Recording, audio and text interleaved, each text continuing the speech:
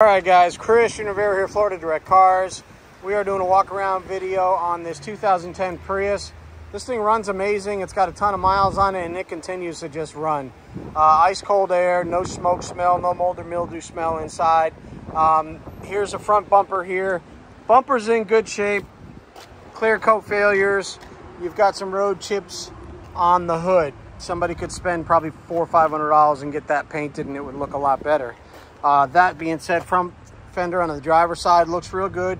You've got some scuffs on the wheels, nothing crazy. Tires are probably about 80, 90% all the way around. Driver's side looks good, no major scratches, dents, or dings. Little tiny ding here, rear wheel looks good. Michelin's are in great shape on this, on this car. Rear bumper looks great. Tail light looks good. Second tail light looks good.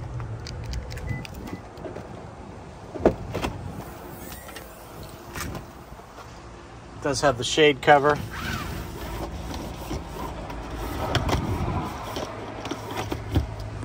There you go.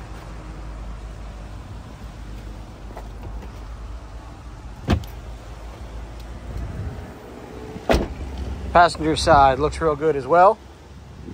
No major scratches, dents, or dings the whole way down. Glass is in good shape, no chips, no stars, no bursts, no cracks. Let's take a look inside.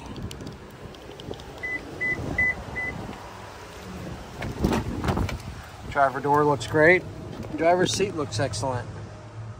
Dashboard's in really good shape. Let's take a look inside. Go.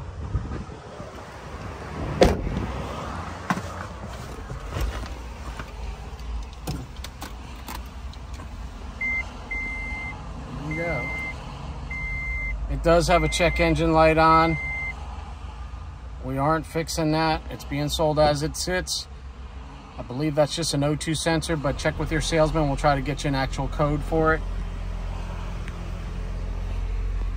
And there you go.